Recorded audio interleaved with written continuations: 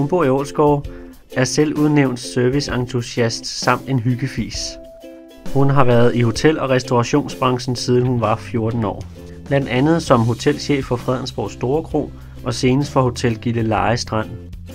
Nu har hun kastet sig over et nyt projekt som ny udnævnt direktør for værftets madmarked i Helsingør. Hun er en resultatskabende leder med flair for salg og service, og får efter eget udsagn tingene til at ske. Madmarkedet åbner igen i midten af marts, og efter en succesrig første sæson er den nye direktør klar til for alvor at sætte værftets madmarked på landkortet. Hun er innovativ og energisk, og hun er klar til at udvikle Helsingørs nye madsted, så det rammer endnu bredere og med høj kvalitet. Denne ugens profil er Gry Brix. Jeg vil starte med at høre lidt om, hvem du er. Jamen, jeg er, jeg er øh, en hyggefis. Privat er jeg en hyggefis, der elsker at have familie og venner omkring mig, og øh, nyder at være i haven og lade mine batterier op, øh, eller lave et sjovt gør-det-selv-projekt. Øh, arbejdsmæssigt, der er jeg en øh, ildsjæl. Jeg er effektiv. Jeg er den på virksomheden, som samler mennesker og får os alle sammen til at løfte i flok. Jeg er idérig og kreativ, og jeg ser nogle nye muligheder. Øh, jeg gør tingene lidt på min egen måde. Du er per den 1. februar ansat som direktør for værftets madmarked. Hvorfor takker du ja til stillingen? Det gjorde jeg, fordi det var en, jeg, har, jeg har i rigtig mange år været i hotel- og restaurationsbranchen, og det her det var et hjørne af den branche, som jeg faktisk ikke kendte noget til, udover hvad, hvad mit kendskab er som gæst på forskellige street foods og madmarkeder. Og så synes jeg, det var en, øh, en stor udfordring. Det kunne være sjovt at prøve, at, øh, prøve kræfter af med, med, med den del af branchen også. Og så er det et koncept, jeg er vild med, så, så skulle man være tosset for at sige nej. En ny direktørstilling er ikke just noget nyt i din karriere. Senest som hotelchef i Gilleleje. Hvilke erfaringer tager du med ind i dit nye job? Jamen igen, en, da jeg var 14 år, startede jeg i hotel- og restaurationsbranchen, og der har jeg været siden, så jeg har øh, en stor erfaring med, øh, med, med den del af branchen. Og den del af branchen har jo fokuseret lidt mere på, på øh, service, gæsteservice, gæstepleje. Der er noget øh, overordnet øh, kommunikation og nogle, øh, nogle, nogle regler, der er nødt til at være på plads for, at man kan løfte et hotel samlet. Og mange af de ting, tænker jeg, jeg kan tage med ind her. Gæsteplejen, gæsteservicen, vores omstillingsparathed, samarbejdet i de forskellige steder og få, få, få løftet det her som, som værende én virksomhed. Madmarkedet åbnede for et år siden. Hvordan har kundernes reaktion været på det nye madsted i Helsingør? Jeg har været her som gæst. Jeg har kun siddet i den her stol i, i tre uger, men har været her som gæst siden de åbnede, og det er helt klart min oplevelse, at både turisterne og de lokale, og også folk, der kommer rundt omkring fra øh, i omegnen, at de ser på det som et øh, rigtig hyggeligt sted og et øh, sjovt og anderledes koncept, hvor de kan være børn og voksne og deres forældre, og øh, nogen kan lege, nogen kan spise, og man kan få et, et, alle kan finde noget, som de synes er deres favoritspise. Øhm, så jeg synes, at vi er blevet taget rigtig godt imod. Og øh, nu løfter vi det så lige et skridt mere. Hvilke erfaringer tager I med fra det første år? Når man starter noget nyt op, så er der altid nogle børnesygdomme, og der er nogle forskellige knapper, der skal skrues på og justeres, sådan så det til sidst bliver et, et koncept og et produkt, som falder i, i størstedelen smag. Og det har der også været her.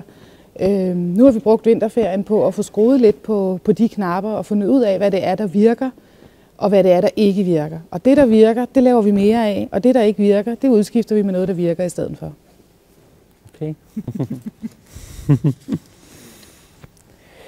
du er som ny direktør ansat til at føre værftets madmarked i en fase 2. Hvad bliver din fornemmeste opgave? Øh, min fornemmeste opgave bliver fortsat at sikre, at vi har en kvalitet og vi har en diversitet, sådan så udbuddet hernede det bliver, det bliver bredt og lækkert. Øh, min fornemmeste opgave bliver også at, øh, at sikre, at vi får endnu flere kunder og endnu flere gæster, end vi havde sidste år ind i forretningen. Øh, at vi kommer langt mere på landkortet, end vi er. Og at vi får lavet nogle brandgode arrangementer. Okay. Hvilke udviklingsmuligheder ser du for madmarkedet? Vi har jo en hal inde ved siden af, blandt andet, som øh, kan tage nogle øh, sjove og anderledes arrangementer og events. Og så er der altid mulighed for udvikling i form af at lave endnu flere arrangementer. Øh, og det kunne være en grillaften udenfor, når vejret er godt. Det kunne være, vi har jo vores onsdagsbanko, som, som kører Foodie Bango, tror jeg den hedder, som, som kører rigtig godt. Øh, så hvorfor ikke skabe et par flere tilbagevendende arrangementer, som bare kan køre kontinuerligt, og så samtidig, at vi kan lave nogle spontane og sjove arrangementer hen ad vejen.